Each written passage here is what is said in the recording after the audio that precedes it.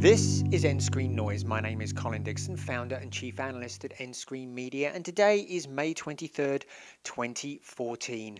Rentrak was singing the praises of VOD this week at the On Demand Summit. Uh, Bill Livek, who's vice chairman and CEO of the company, and Cathy Hetzel, corporate VP, said that the 55 million VOD homes uh, were driving about nine hours on average per person of usage. Now, this translates to pretty good numbers, about 2.6 people per home. Now, if most of this viewing is community viewing, that is, they're watching together, that means that's driving about 1.5 billion hours every quarter. And if most of this viewing is done apart, that's about 3.9 billion hours uh, of viewing. So uh, either way, that's pretty good, particularly when you compare it to Netflix. Netflix said in Q1 of 2013 it delivered 4 billion hours to its 33, uh, excuse me, 36 million subscribers at that time. And and Unfortunately, VOD was only driving about a quarter of that. So this is remarkable growth over that period. Now, you may well ask why. Well, I think there are a couple of reasons. One is improving VOD interfaces. X1 from Comcast is just a better interface and easier to find things with. So I think that's helping, as well as access through tablets. It's very, very easy. You just scroll up and down on those tablet displays. But most importantly, is more current content. Currently, there are 84% of broadcast primetime shows are showing up now in, in VOD systems.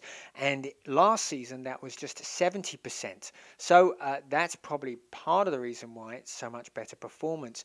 But it could get even better if the Comcast Turner deal is duplicated over more companies. Uh, remember, Turner agreed to provide full seasons to Comcast for use in its VOD system, and that will obviously make it more competitive with services like Netflix.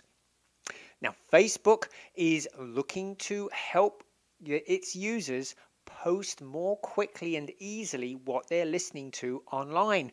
They've developed technology like Shazam to recognize shows and to recognize audio uh, music that you're listening to and they're working with Rovi to get data about that information so that they can easily post to Facebook accounts. It can all be done by just turning this functionality on the phone while you're watching or listening. And then when you want to post, it's just a couple of touches and it will post what you're watching and listening to on your Facebook page. Viewers of your page can listen to 30 second clips and if it's a video, they will be told which episode and which season so that they don't accidentally spoil the show for themselves. So that will be upcoming in the next few weeks uh, on your tablets and smartphones. And finally, it looks like the World Cup will be the most multi screen sports event ever. New information from Voxburner says that 55% plan on watching games on their PCs and their laptops. And this comes on top of data earlier this month from Yumi, which said that 55% plan to watch full games uh, online. So, either way you look at it, it looks like it's going to be the most multi screen sports event ever.